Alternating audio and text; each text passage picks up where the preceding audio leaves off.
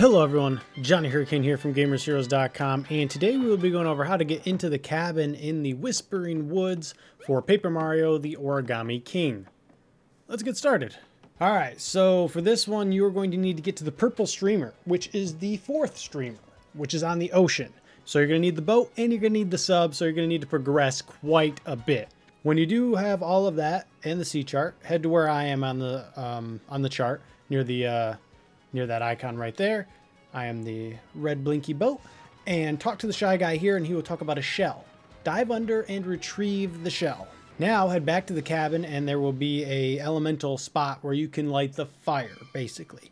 Uh, and you will light the fire with your firebird and go over to the fire and toss the clam on top of the fire. This will of course cook the clam which will open the clam up and inside there will be a toad for the Whispering Woods. Probably your last one if you have all the others. Uh, it was the last one for me. And he will open up the door to that cabin, as it is his cabin.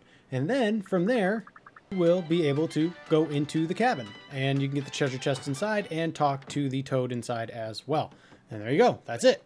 So if you liked what you saw and got what you needed, like, comment, subscribe. See you guys in the next video. Later, Gators.